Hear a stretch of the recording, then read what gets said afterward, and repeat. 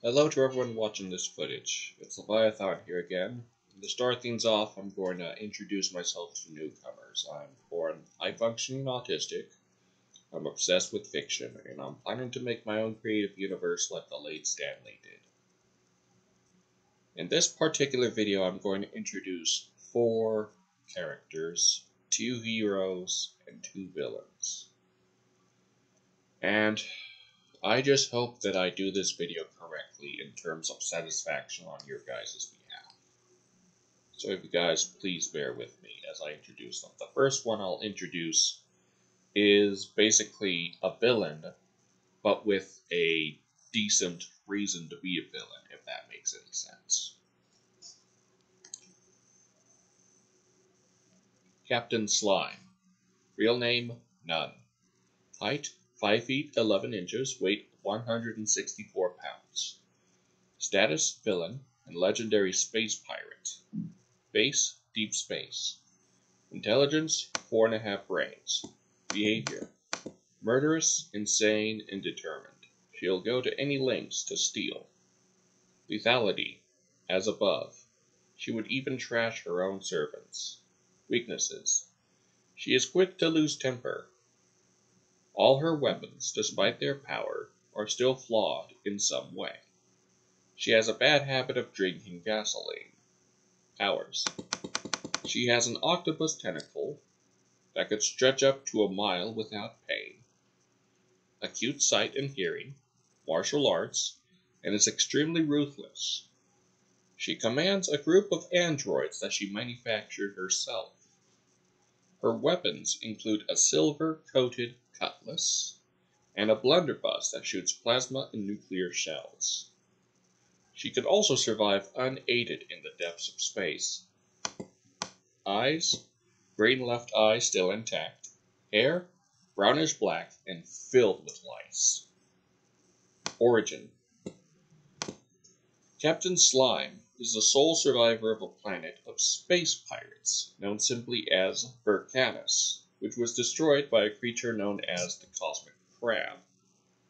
Donning a jagged scar on her right eye from the tragedy, she and her androids traveled the cosmos in a metallic star pirate ship, propelled by rocket engines, trying to collect enough valuable items to power a machine that could resurrect her home planet and species.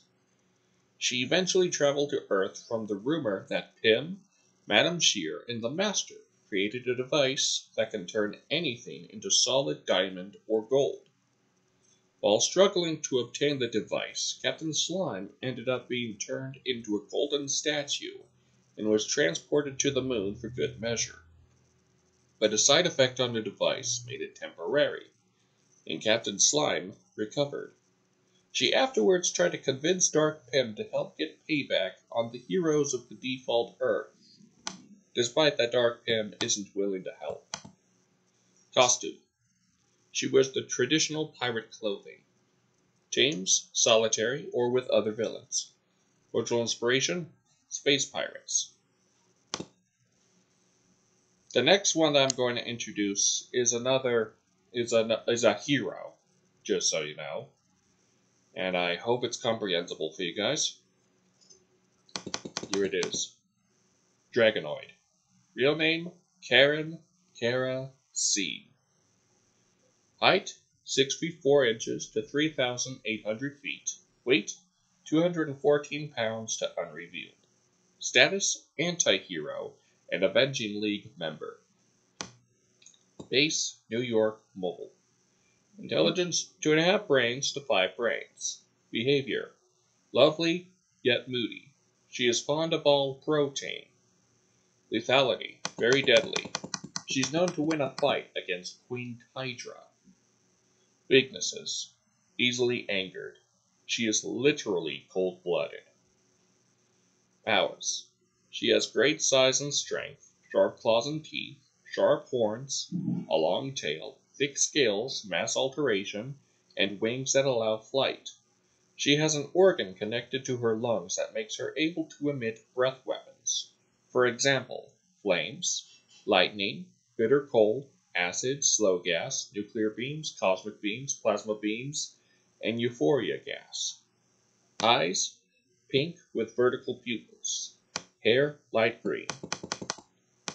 Origin Kara Seane was once an average woman with a bad smoking problem. One day, she was used as a guinea pig by Tyranitar to cure her addiction, but with the cost of becoming a weapon to destroy mankind. Kara lost her addiction, but it forever changed her into a humanoid dragon hybrid. Being nicknamed Dragonoid, Kara flew to New York and started attacking the city until being defeated by Colossa. When Tyranitar tried to force her to destroy Colossa, Dragonoid used her euphoria gas on Tyranitar and left her getting incapacitated by Colossa. Though moody at times, Dragonoid was pardoned by the Avenging League and became a new member of the team, along with being marked as a hero for the Innocents. Costume She's covered in green scales with some patches of human skin. Teams Solitary with the Avenging League and other heroes. Original inspiration Dragons. The next one is another evil counterpart from the untrusted dimension, just so you know. And I hope you guys enjoy the ride so far because I'm trying to make this work.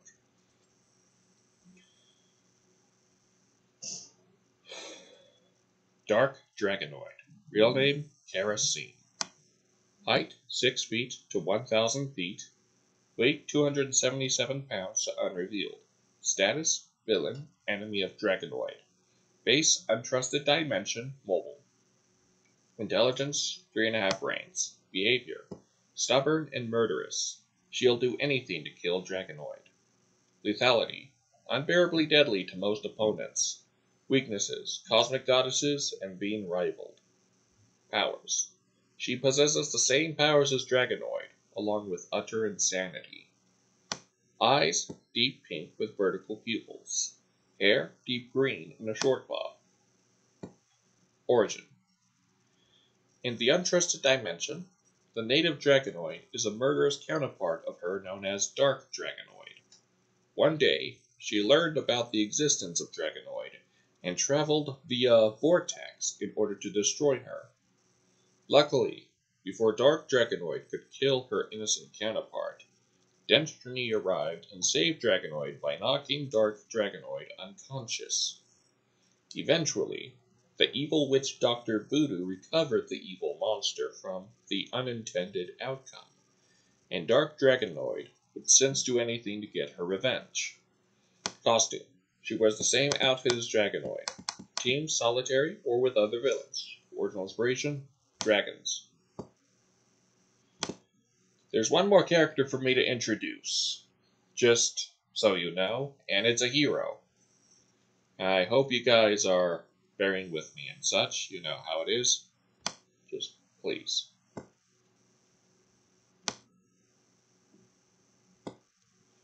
Elaztik. Real name Stephanie Helens. Height 5 feet 11 inches. Weight 191 pounds. Status Hero and 5 Senses member. Base New York City, mobile. Intelligence 2.5 brains. Behavior witty yet immature. She's very protective for the innocents. Lethality. She's only a threat to those who wish harm to others. Weaknesses Extreme temperatures. Powers She has extreme levels of elasticity. She could stretch her arm from the default Earth all the way to Pluto without feeling any pain. She can morph into anything useful in a certain situation. She's nearly unbreakable, being able to be slammed by a train without getting harmed. She could also eat a few thousand pounds of food without getting sick.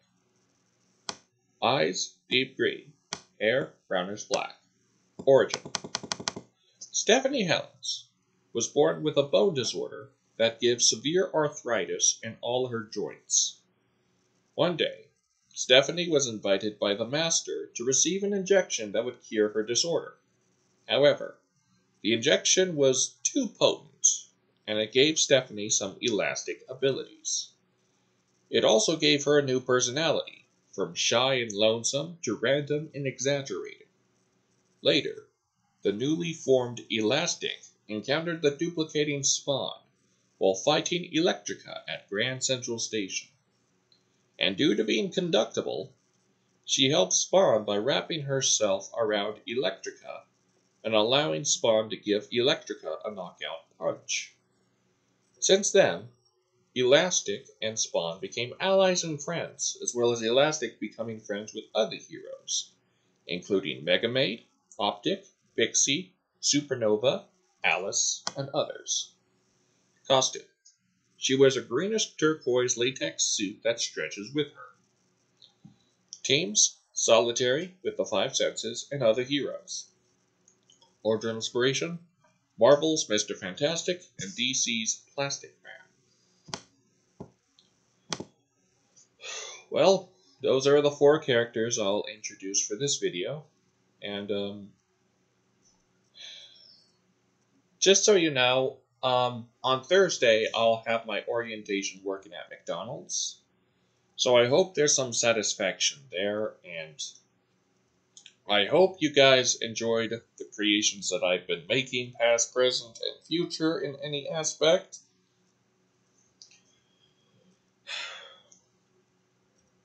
And um, I I also sometimes feel a bit paranoid, like whenever it comes to me having to make my next video within a certain time lapse, if that makes sense. Which is stupid if you think about it, I know.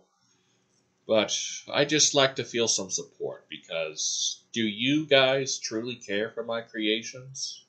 Or are you just being polite?